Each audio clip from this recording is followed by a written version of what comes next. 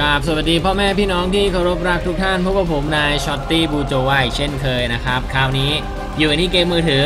ซึ่งมีหลายเวอร์ชันมากภาษาตรงภาษาไทยอังกฤษอังกฤษมีนะครับ ของค่าย Gamevil นั่นก็คือ Masquerade The Faceless นะครับ ก็ไอ้ Masquerade นี่แปลว่าสวมหน้ากากเนาะ The Faceless ก็คือคนที่มันไม่มีหน้าอะไรเงี้ย Faceless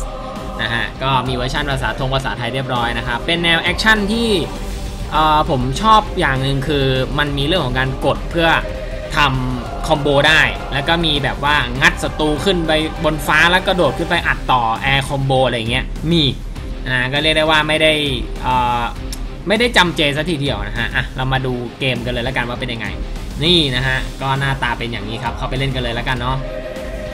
จุดเด่นของมันอีกอย่างหนึ่งคือเรื่องของหน้ากากนะครับหน้ากากเนี่ยจะส่งผลต่อ costume ของตัวละครนะครับก็เนี่ยตามที่เห็นเลยเห็นไหมเลเวลของหน้ากากเยอะขึ้นก็จะ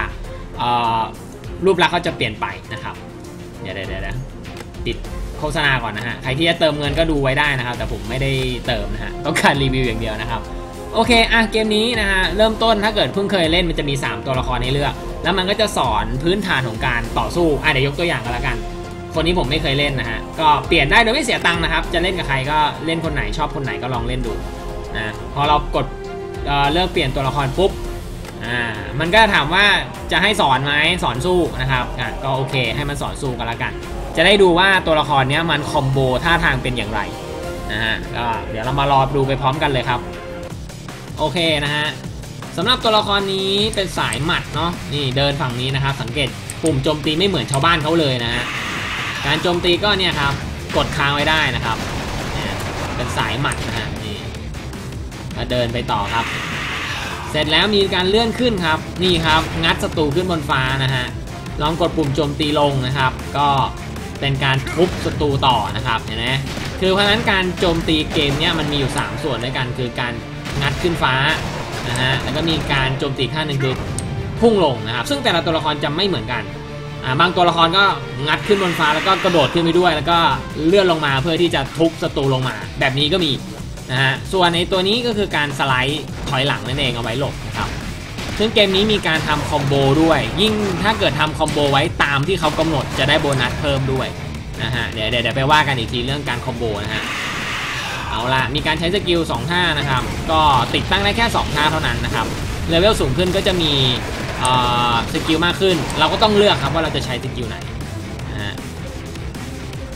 โอเคเนาะวิ่งมาแล้ว เจอบอสแล้วครับ Grey Wolf หมาป่าสีเทาบวกเลยครับรออะไรนี่ท่าอะไรเนี่ย ลองดูโอ้ติดน้ำแข็งด้วยนะฮะทุบพื้นต่อนะฮะเนี่ยกราฟิกโอเคเลยนะครับ ใช้งานได้สวยสวยงามดีแล้วก็เขาเรียกว่าอะไรภาษาอังกฤษเรียก stun นะก็คือจอทรงจอสั่นอะไรอย่างเงี้ยกราฟิกโอเคเลยนะครับ แน่นอนว่ามี auto มีอะไรเรียบร้อยทุกอย่างนะฮะนี่อะก็ถ้าเกิดใครที่เล่นผ่านการสอนเมื่อกี้นะครับ จะได้รับอุปกรณ์เป็นเซตติดตั้งหมดเลยนะฮะติดตั้งหมดเลยเออนะอันนี้ก็จะเป็นตัวอย่างในการตอนเริ่มเกมก็จะเป็นแบบนี้นะฮะเดี๋ยวผมจะขอไปเล่นตัวเดิมตัวเคียว เนื่องจากผมเล่นจนเปิดระบบครบเรียบร้อยแล้ว เรามาดูระบบของเกมกันดีกว่าเปลี่ยนได้เลยนะฮะไม่เสียตังค์แต่อย่างใดเปลี่ยนได้เลยนะฮะแล้ว จะเล่น 3 ตัวไปทำไม อ้าว เดี๋ยวมันมีระบบหนึ่งนะครับ ที่จำเป็นต้องใช้ตัวละครอีก 2 ตัวของเราด้วยนะครับ อ่าเริ่มเลยกันแล้วกันนะฮะ ขอเอาหลักๆก่อนคือตรงนี้ผจญภัยนะครับ การผจญภัยก็มีแบบไปลุยตาม quest นะครับ ซึ่งเกมนี้ไม่เหมือนเกมอื่นอย่างหนึ่งคือเอ่อมันจะมีเรื่องของ quest ที่ NPC อะมันร้องขอด้วยนะฮะถ้าเป็นเกมอื่นๆเนี่ยเราก็ตะลุยตามด่านใช่ไหม C1 ตึ๊ดๆๆไปถึงบอสแล้วก็เปลี่ยนไปฉากต่อไป แต่เกมนี้มันจะมี เนี่ย NPC มานะครับ ซึ่งมันจะมีระยะเวลาอยู่ดีๆ ก็มันก็จะผุดขึ้นมาคุยกับเรานะฮะแล้วก็จะมีเหมือนกับ quest ให้ทำนะครับแล้วก็จะมีของรางวัลมากมายนะครับ ซึ่งทุกด่านจะมี drop เจ้าหน้ากากนะครับ เดี๋ยวค่อยไปว่ากันอีกทีเรื่องหน้ากากนะครับ สังเกตนะว่าจะมีเห็นไหมมี NPC นะครับมี NPC แบบคอยมาคุยกับเรานะครับคอยทำ quest นะครับ ซึ่งเนี่ยโอ้เด็ดเต็มเลยเห็นไหมซึ่งยิ่งทำยิ่งดีเพราะว่ามันจะได้เศษของหน้ากากง่ายไงง่าย อะเดี๋ยวเราไปลองเล่นดูสักด่านกันแล้วกันอ่าสี่ขีดแปดเนาะมี NPC อยู่ด้วยนะครับ ก็สำหรับการเล่นนะฮะก็อันมันจะมีบอกด้วยนะครับว่า ถ้าเกิดเราทำคอมโบได้ตามที่มันบอก คือได้เกรด2 3 ครั้งแล้วก็กู๊ดนะครับ แล้วก็จะได้รางวัลเป็นหน้ากากทันที การันตีเลยเป็นหน้ากากนะครับ ส่วนอันนี้ก็คืออยากจะได้ดาวเท่าไหร่ก็อยู่ที่ตรงนี้ครับ ก็ถ้าเกิดเราเล่นต่ำกว่า 2 นาทีก็จะได้ 2 ดาว ต่ำกว่า 1.2 นาทีก็จะได้ 3 ดาว และดาวมันเอาไว้ทำอะไรได้ มันก็ไว้แลกของได้ครับ สะสมดาวไปเรื่อยๆ ก็สามารถมาแลกของได้นะฮะแล้วก็มีอะไรอีก อะ ก็มีด่านนี้ดอปอะไรบ้าง แล้วก็มี Attack กับ Defense ที่แนะนำนะครับ ถ้าเกิดผ่านด่านไหนไปแล้วสามารถปล่อยบอทได้ คือให้มันเล่นซ้ำไปได้เรื่อยๆด้วย เผื่อแบบกรณีที่เราแบบไม่เปิดหน้าจอทิ้งไว้ หรือขี้เกียจเล่นอะไรเงี้ย เปิดบอททิ้งไว้ได้นะฮะ อะ เราเริ่มกันเลยแล้วกัน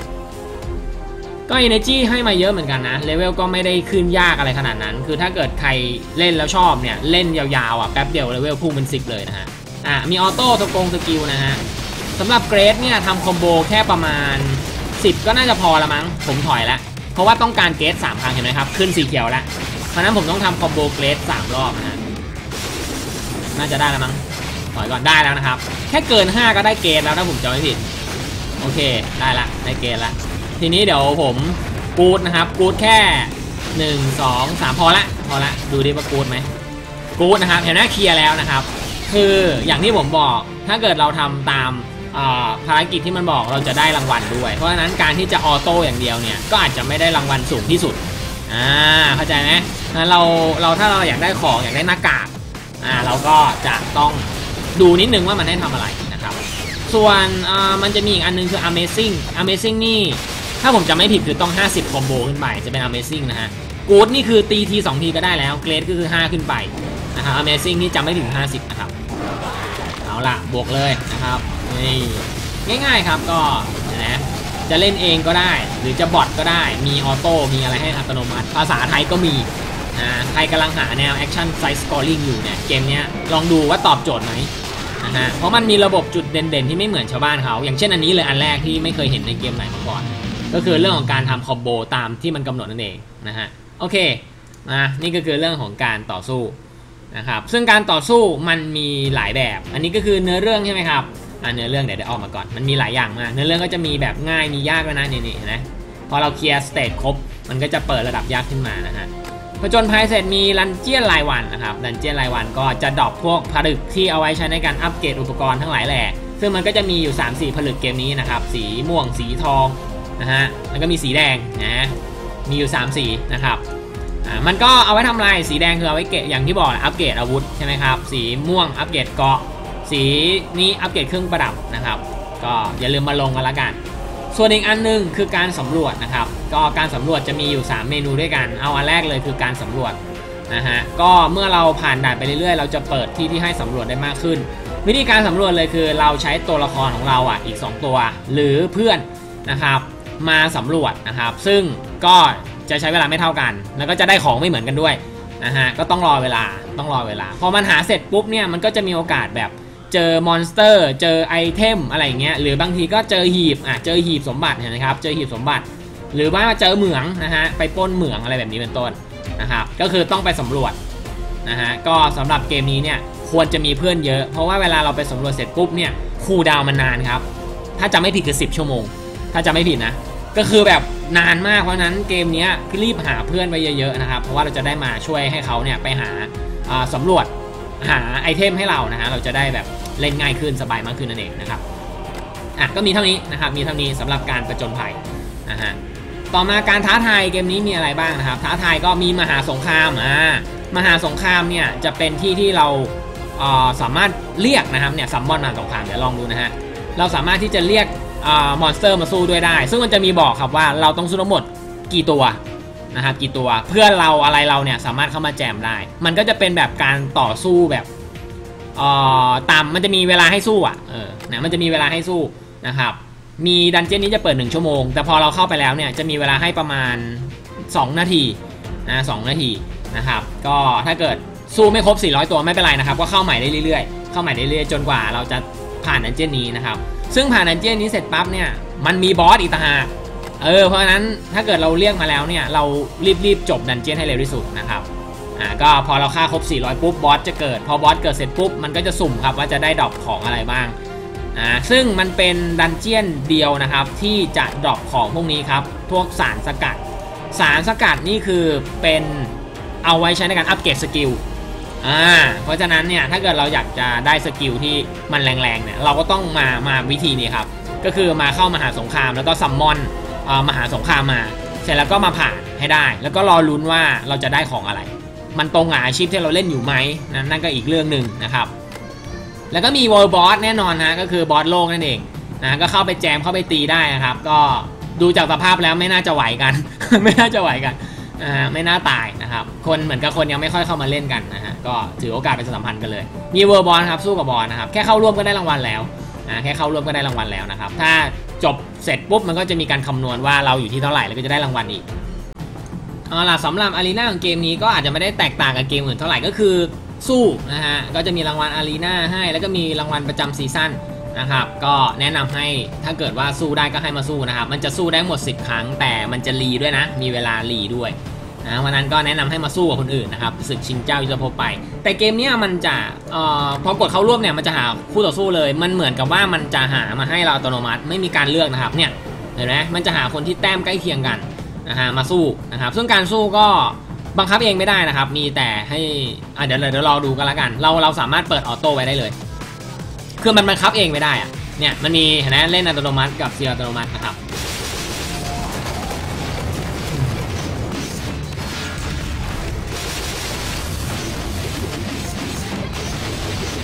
เอาล่ะดูการต่อสู้นะฮะสังเกตเห็นว่ามีเรื่องของการล้มการอะไรกันด้วยเห็นไหมครับเพราะฉะนั้นเสน่ห์ของเกมนี้เนี่ยก็พลังไม่อาจจะไม่เกี่ยวอย่างเดียว มีเรื่องของการอัดกันให้ล้มด้วยนะครับ อันนี้คืออรรถรสของ arena นะฮะ นอกจากจะ auto อย่างเดียวแล้วก็มีการอัดให้ล้มกันด้วยนะฮะ เอาเป็นว่าอยู่ที่ดวงด้วยนะครับ ใครล้มบ่อย ใครล้มก่อนเรียบร้อยนะฮะเรียบร้อย อันนี้คืออรรถรสของ arena เนาะเอ่อก็อีกหน่อยก็จะมีสงครามกิลด์ด้วยนะครับ ในอนาคตรอกันได้เลยนะรอกันได้เลยนะฮะโอเคนะฮะนี่คือ 2 ระบบการต่อสู้นะครับแล้วก็ระบบหลักๆของเกมนี้นะครับเรามาดูระบบอื่นๆกันบ้างนะครับ เรื่องของตัวละครสังเกตนะครับมีช่องเก็บของ อ่าก็คือเป็นอุปกรณ์ที่เราติดตั้งนั่นเองนะครับ ซึ่งเกมนี้เนี่ยจะคล้ายๆเกม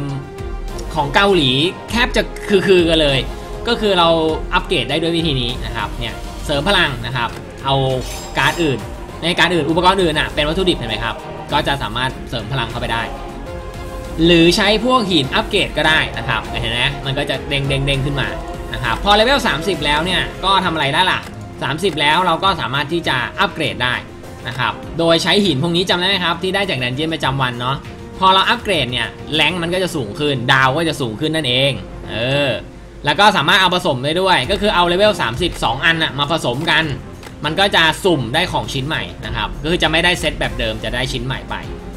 อะส่วนการหลอมเนี่ยไม่รู้เหมือนกันนะฮะเพราะว่ามันเปิดมาไม่มันไม่เปิดอะ่ะเข้าใจว่าต้อง 6 ดาวก่อนนะครับผมแอบเห็นอยู่แวบๆว่า 6 ดาวเนี่ยเดี๋ยวมันจะหลอมกับเปลี่ยนคุณสมบัติลองได้ นะฮะอันนี้ไม่สามารถจริง ๆ ครับ จะต้องมีของดีเทพกว่านี้ก่อนถึงจะทำได้นะฮะก็มาลองดูแล้วกันเอาเป็นว่ามันมีหลอมกับมีเรื่องของการเปลี่ยน status ด้วยนะครับส่วน skill ก็อย่างที่บอกไปนะครับเมื่อเลเวลสูงขึ้นมี skill มากขึ้น ติดตั้งได้แค่ 2 skill เท่านั้น และอัปเกรดได้โดยการต้องได้ไอสารสกัดมาถูกไหมครับเออนะสารสกัดก็จำได้ไหมที่ไหนก็คือในระบบท้าทายอันนี้นั่นเองครับมหาสงคราม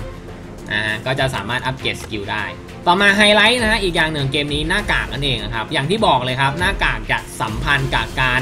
อะ costume ของตัวละครใช่ไหมครับนี่เห็นไหมเปลี่ยนไปอย่างเห็นได้ชัดนะฮะนี่นะมีหลายหน้ากากนะครับหน้ากากก็เอ่อมันจะ drop ตามด่านครับเกมนี้ก็น่าจะมีแค่ 6 ด่านนะฮะก็จะได้หน้ากากพวกนี้มา drop ตามด่าน ลองดูครับว่าหน้ากากเนี่ย status อะไรมันเป็นยังไง ซึ่งมันจะไม่เหมือนกันนะ อย่างเช่นในที่ผมใส่ Attack 100 Defense 100 HP 150 อันนี้เพิ่ม cri damage แต่ถ้าเราไปดูหน้ากากอื่นเห็นไหม Attack 51 Defense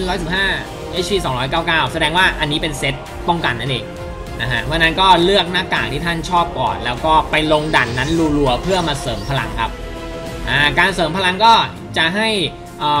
หน้ากากเลเวลสูงขึ้นใช่ไหมครับ และเมื่อเลเวล5ก็จะเปลี่ยนรูปลักษณ์ไปสวยงามขึ้น